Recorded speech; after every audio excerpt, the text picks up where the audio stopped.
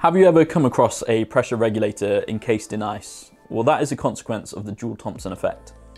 The Joule-Thomson effect, also known as the Joule-Kelvin effect, describes the phenomenon where the temperature of the gas changes when it is forced through a valve while kept insulated so that no heat exchange occurs with the surroundings. This effect is often found in pressure regulators. In pressure regulators, gases are typically passed through a narrow orifice or a valve. When the gas then expands through the regulator, its temperature can either increase or decrease depending on the initial temperature and pressure of the gas, as well as the specific characteristics of the gas itself. Most gases typically decrease in temperature as it expands, apart from hydrogen and helium, they heat up.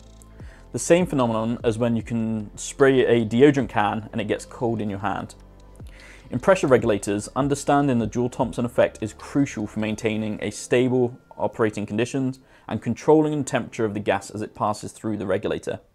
By manipulating the pressure and temperature relationship utilizing our heated regulators, pressure regulators can ensure that the gas leaving the regulator meets the desired specifications for pressure and temperature.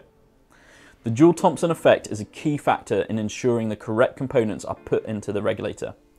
Pictured here is an LFI40 that is being used to reduce CO2 pressure. As the gas expands, the regulators become so cold and frozen the moisture in the air around it.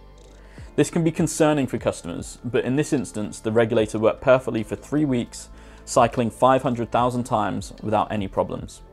If you'd like some assistance in the Joule-Thomson effect and how we can correctly size a regulator for your application, then please feel free to contact PressureTech.